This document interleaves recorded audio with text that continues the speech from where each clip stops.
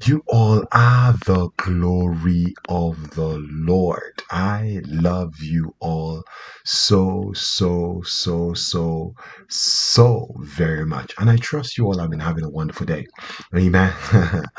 you know, I posted a video uh, earlier on and I believe upon posting the video, the Lord was helping me to understand that there was more that I needed to actually say.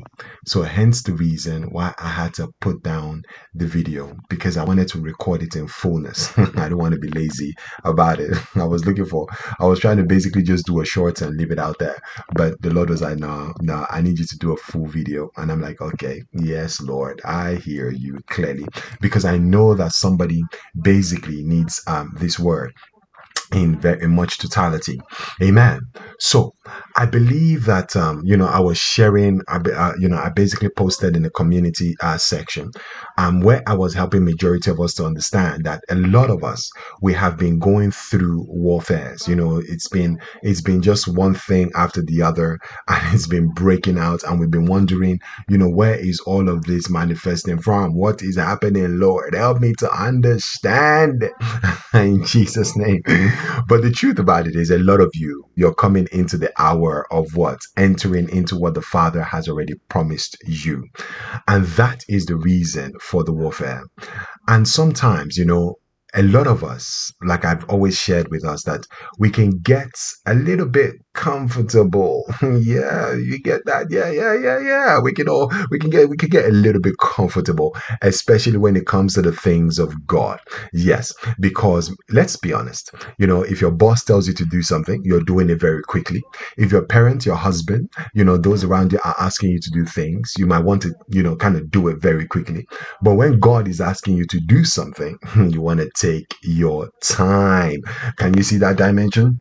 You want to take your time. And this is the reason why you know the father basically allows some storms you know i believe i've shared a, a prophetic word here before uh, and i was talking about you know your warfare is only a test and in summary what i was basically sharing there is the example of an eagle now i want you to look at storms with eagles and with other birds. You know, there are some birds when the storm is coming and begins to, you know, come towards whatever it is that is coming towards. A lot of birds are flapping away and basically trying to hide under the under the tree, or they're trying to hide in a tree, or they're trying to hide in a cave somewhere. But not so with the eagle, because eagles they love storms. Do you see? So while other birds are flapping their way, trying to get into where they need to be in, it's a place where the eagle is actually actually looking for the storm to soar above it because that is the position of rest for the eagle. Now, I want you to look at it this way. Jesus, I'm not saying you're an eagle, no, not at all. But look at our Lord and our Savior. When the storm came, what happened? He was sleeping. So, majority of the time, when the storm is coming, the Father is helping you to understand that, hey, I just need you to be in a posture of rest. Why? Because the storm has come to teach you something. So we can easily, yes, begin to pray away the storm. And the Father is like, hey, hey, hey, hey, hey, hey, hey, hey. don't use what I'm trying to use to basically teach you something. Don't, don't, don't pray it away. No, no, no. Don't pray it away because we've got something to do in the storm. do you see that in itself? Because I want you to understand that the storm, yes, it brings promotion. The storm is a time of testings. Yes, because it helps you uh, to go through tests. And the storm also, you know, it's a place where it leads you into graduation to bring out maturity in you. Can you see the very purpose of the storm? Yes, because you have to understand the storm has come to basically lift you higher, just in the same way like an eagle to soar higher. Can you see that? So a lot of times we might be praying, Father, I don't like this storm. Father, I don't want this storm. But eventually it's what is using to get you to where you need to what? Where you need to be. Do you see? Can I give you an example? The Bible tells us in the book of Acts thereabout. Yeah. Remember our apostle Paul, you know, when he was still Saul. The Bible says what? Persecution broke out. they were they were all relaxing in Jerusalem. They were doing what they were, supposed to do, I believe. You know, and it was a place where, you know, they got they got a, bit, a little bit, you know, we're in Jerusalem, yeah, we're, we're just here, we're doing our own thing. But when persecution broke out, what happened? the word of God spread to all other countries. So you can see how the Lord was using persecution to what? To basically further the gospel. So is it the persecution trying to get you to be better at your job? The persecution trying to basically get you to be what? Much better at your career. The persecution to be what? To be able to love, eh, you know, to love properly. The persecution comes to be able to be merciful. The persecution comes to be discerning at the same time. So you can see why the storm comes because it comes to refine the Bible declares, according to 1 Peter 1 67. It says, In all this you greatly rejoice, though now for a little while you may have had to suffer grief in all kinds of trials. These have come so that the proven genuineness of your faith of greater worth than gold, which perishes, even though refined by fire, may result in praise, glory, honor when Jesus Christ is revealed. Do you see what that scripture is saying? It says, In this you greatly rejoice. So that means in the midst of the storm, you're rejoicing. So even though now for a little while you had to go through the storm, it says, These have come to prove the what? The genuineness of your faith. Because sometimes, you know, when the Lord gives you something to do, it's a place where because of the storm, you might like, Lord, I'm out of here. I, I, don't I don't think I can handle this anymore. You know, you know, Lord, go and give the person your message yourself. Lord, go and do this, you know, I, am I'm, I'm, I'm give it to somebody else. I, I'm not bothered with it. But no, that is not the posture you took. do you see that? Because in the midst of the storm, you still continue to do better at a job. In the midst of the slander, in the midst of the mockery, in the midst of the persecution, in, in the midst of all that that came against you, you still continue to what? To persevere, to persevere. Do you see the beauty of why the storm came? It is to refine your what? Your faith. Now, can we honor wisdom and help you to understand? Right. So, for majority of the people, I believe either you're, you know, you're in school for, um, you know, I want to use the dimension of school, you know, college, university, and whatever school it is that you're in. I want you to look at it this way. For those who have been in university, there is. Now, I remember when I was there, you know the first year the foundation year was absolutely it was easy was breeze you know. The second the first year was absolutely good too you know there was not much work to be done just what was given and then continuing. The second year was slightly okay it was a bit tough but it was okay you know it was still it was still something we could get through. You see that dimension? So the first year good the second year good. Now the third year wow the third year was absolutely absolutely something to write home about it was it was amazing because in the first year, you know, it started off easy, easy, easy. Then towards the end of the what first semester, it was a place assignments here, courseworks here, assignments here. In the midst of that in itself, you know, the final the final year project was given where you had to write what an introduction to the dissertation in itself. Now you have to go, you have to present it. You know, in the midst of it, you're basically going to the library trying to finish your course. Now everything was just happening at once. And you're like, Lord, help me out of this. Because, you know, me, I, I just want to be very, you know, just, just to be honest about it. Because in my final year, I was ready to give up. You know, I was, I was like, no, I, I can't do this anymore because it's just too much. You know, it was just, it was just way too much. And I thought to myself, I'm just going to leave it till next year why don't I just leave it to next year? Because then, you know, I will have had my mind in the right place. I would have had everything in the right place. And I went to meet the project supervisor who was my uh, tutor at that moment in time. And he said, why do you want to basically, you know, why do you want to postpone it till next year? So why don't you just do what you have to do? Do it once and for all. And next year you can just relax, you know, in looking for a job. And I went and I pondered on it. And amazingly, God surrounded me with, you know, one or two people who were basically very encouraging. And it made made me to persevere through it all. And I'm glad that I basically walked in that counsel to finish because it was not easy, but it pushed me to a level that I never thought I would have been able to get to. Isn't that the same with the storm? Look at your job, for example. So much is demanded of you, but look at the best you continue to put in right through it. And now look at where you are today. You're much stronger. You can persevere even much more. Now you're able to what? You're able to endure the process even though it seemed hard. Now look at what they continue to what to manifest over your life and how you continue to sail right through it. Isn't it just a beautiful journey? Aren't you glad for the storm in itself? Amen. So you can see that's the dimension of it in itself. So now look at when the graduation happened. The graduation happened. Well, I didn't attend my graduation. No, not at all. But I believe it was a was an amazing moment for people who basically attended that in itself. Do you see that? You know, the beauty of it? To God be the glory.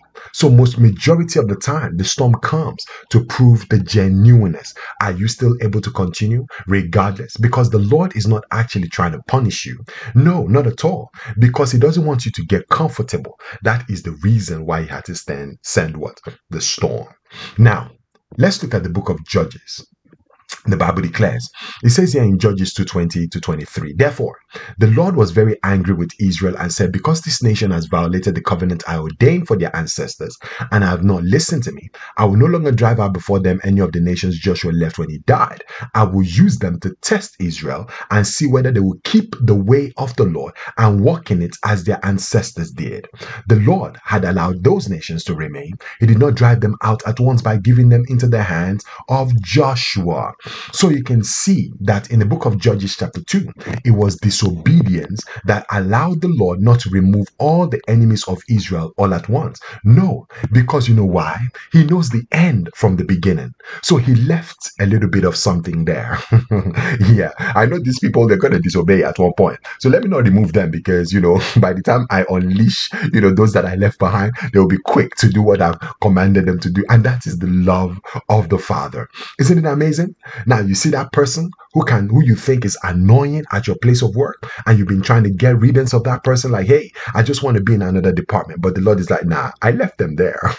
and the reason why I left them there is because you have to understand if I didn't leave them there, you can get relaxed so easily. If I didn't leave them there, you can get too comfortable. If I didn't leave them there, you can get so, you know, so like confident in what it is that you're doing and not dependent on me. Do you see? So I had to leave them there so that every time they basically begin to act up, you call out to me. And then I know that what? I will be there for you even before you call. Isn't it amazing the wisdom of God? Yes, it is. So this is the dimension that the Lord has been working majority of you in. Because all through the what all that has been happening to you the truth of it is he has been looking for your heart posture. How would you respond to the situations? How would you manifest that which is happening around you? How would you walk in it in yourself? How would you react to how the person is basically treating you? How would you respond to how they basically slandered you? How would you for you know would you forgive them if they spoke all of these things against you no you would i'm sure you would respond in the very manner that the Lord has commanded you in love, with compassion, in faithfulness, with, with absolute joy. And that is how you have been. Majority of you, you have been absolutely good in what the Father has been calling you to do. Now, I'm speaking to those who have been obedient, that is. So, majority of you, the reason for the warfare is not because you've done anything wrong. No, not at all. For some of you, it's because of that. And for some of you, it's because you haven't done anything wrong. And the truth about it is, the Lord was only using it because he needs to get you to where you need to be. Do you know what the Bible declares? Because for some of you, you have to, uh, uh, uh, the, the, the Lord is basically helping you to understand that in the book of Mark, he says, I will bless you in the midst, what? Of persecution. Can you see that? He blesses you. He says, Yeah, you will receive the blessing, but it comes with persecution. Do you see? So even when you're being persecuted, when the storm comes, you have to understand that the reason why it came was because the Lord is ready to bless some of you. Can you see that in itself? Yes, He's ready to bless some of you. Now look at what the Bible declares in the book of Mark, chapter 10, verse 30. It says, But ye shall receive an hundredfold now in this time houses, brethren, and sisters, and mothers, and children, and lands with persecutions, and in the world to come, eternal life. So you're reaping in both dimensions. You're reaping houses, brethren, sisters, mothers, and children and lands with persecutions, and in the world to come, eternal life. So you can see you're not just receiving here, you're receiving also in what? In eternal life. Isn't that amazing? The very wisdom of God So some of you, you might have been praying this away, and the Lord is like, ah, ah, ah, ah, ah, ah, I'm just using that to what? To basically what? to to basically to basically bring blessings into your life. So I want to basically I just use this to encourage you because majority of you, yeah, you passed the test. Yeah, you passed the test. For some of you, the testing period is over. Yeah, the testing period is over because the Bible declares that it was after 40 days, you know, it was, you know, the, the flood basically stopped with Noah. It was basically raining for 40 days and then it came to an end. So for some of you in this hour, your what? Your warfare has come to an end. for this season, it has. So, and the reason why it has is because, yes, you have endured, you have gone through what He called you to do, you have manifested that in glory, and the Lord is truly pleased with you. Amen. Yes, He is. He's truly pleased with you. because I'm reminded, you know, recently, because, it, it, you know, it was just something that basically uh, uh on the journey of my, of my, uh, you know, that I've walked in. There was somebody who was around me, you know, and the person they used to say to me, ah, you know, I'm not that tall. They're five foot something, five foot something. I'm like, well, the Lord bless you. So it was a place where, you know, back in school, uh, uh, you know, there was somebody that I met. We're not dating. It was just a friendship kind of thing. you know, it was, I was still, I was still, I was in Christ, but I was in the world at the same time. So it was, so it was a place where, you know, the person, we, we went our separate ways, but we didn't go our separate ways in the norm. You know, it was with argument and things like that. And eventually trying to resolve that, you know, we just went our ways. And the person I didn't realize went and started doing all manners of witchcraft. So the person around me then, you know, got, uh, you know, the very uh, uh, word from the Lord that this person is speaking things about you. And I'm like, yeah, thank you so very much. Because that was all about that was in school. Do you see that? It was all about when I was still in school. So upon getting that information, because I had already known, what happened? You know the lord began to show me that the person you know the way the, the person was probably in in the marine kingdom and things like that you know. And by holding hands basically you get married to people like that. You know it was just all manner of things. But what happened? The whole essence of the story is this. I reached out to the person and basically blessed the person. Do you see? Because understanding what they had done it was blessed. Yeah yeah i was upset but i just reached out and, and i blessed the person for what they did and i just moved on. But the lord said the person would not respond. So don't worry about it. And I agree to the Lord. So now you can see because that is what majority of you have been what going through. Because majority of you, that is how you have been responding. You have not been repaying evil with evil. No, not at all. You have been repaying all the evils with love. Majority of you, you knew who was attacking you. You knew who was mocking you. You knew who was slandering you. You knew who was coming against you. You knew who was doing all of these things. Can you see that dimension? But the Lord in his infinite mercy is pleased on how you continue to what? To basically manifest his love through it all because they expected you to manifest a dimension of anger. You know, it's okay to be angry, but it says in your anger, do not sin. So you did not sin in your anger. No, you didn't. You basically loved, you you blessed the person, you pray for the person. And for some of you, the Lord is absolutely pleased with you.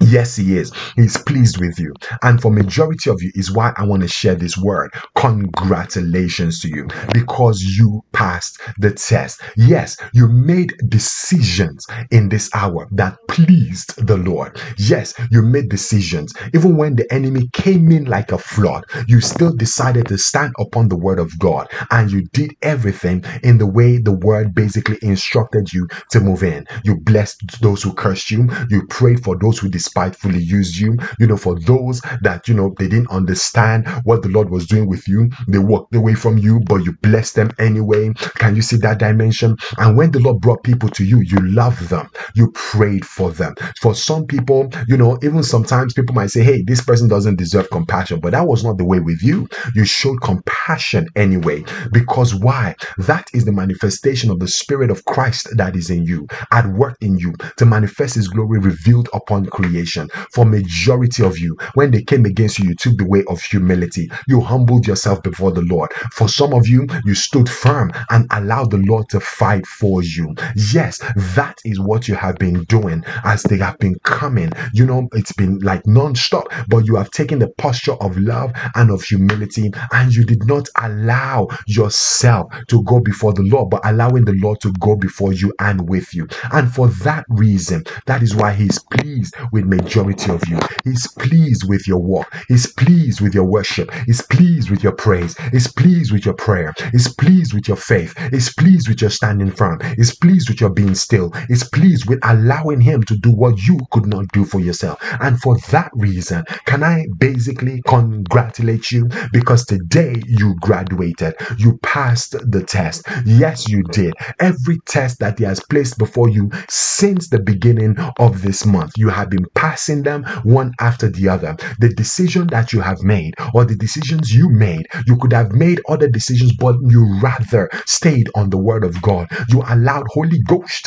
to guide you. And for that reason, this is when you begin to understand his faithfulness in your life because now you are qualified for the rewards that he wants to give you because the testing through the storm was to prepare your heart for what he wants to give you because there are many people that were coming to you but the lord was looking at how you will look after the few and you did it with a heart of absolute love. With diligence you moved right into it and you did not back down. You kept on going and for that reason the father congratulates you today because you you passed the test Yes, you did. You passed the test. You passed the test. And I want to help you to understand this is the very dimension of why the Father has been what? Because sometimes you might look at it like, Father, it's like, why are you silent? Why have you been so quiet in my life? You know, I've been praying. I cannot hear you.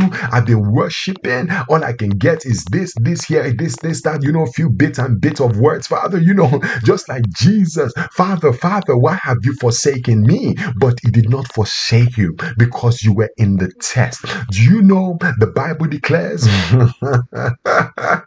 that when Jesus said that, a lot of people will say, Ah, Jesus, God forsook him on that day. No, no, I bless you with mercy concerning that.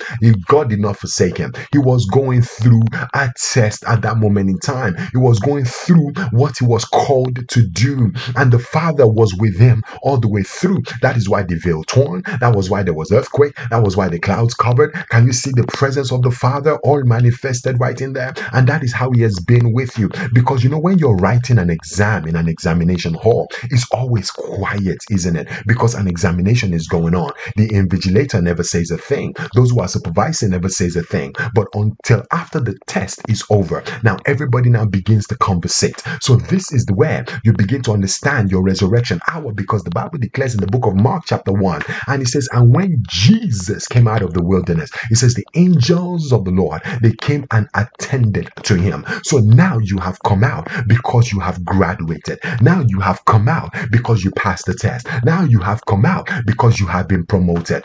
This is your promotion. This is your graduation. And he is pleased with you. Now he can see that you are absolutely worthy of the rewards that he's about to bless you with. Amen. Isn't that a beautiful dimension in the Father? Yes, you pass the test. To God be the glory because that is who you have always been. Amen. To God be the glory. I, you know, I, I, I just want to rejoice with you all, you know, and I love the Father for each and every one of you at the same time. You know, you all are amazing. You all are glorious. You all are wonderful. And I just want to honor the Father for each and what and every one of you. Amen. To God be the glory.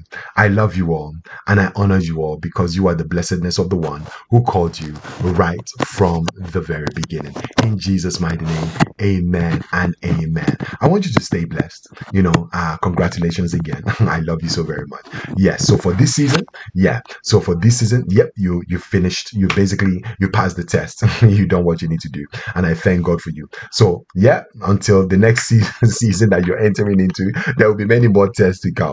But for this episode, the Lord is basically pleased with you. In Jesus' mighty name. Amen. I love you. Stay blessed because you're the blessedness of the Father in Jesus' name. Amen and amen. God bless you.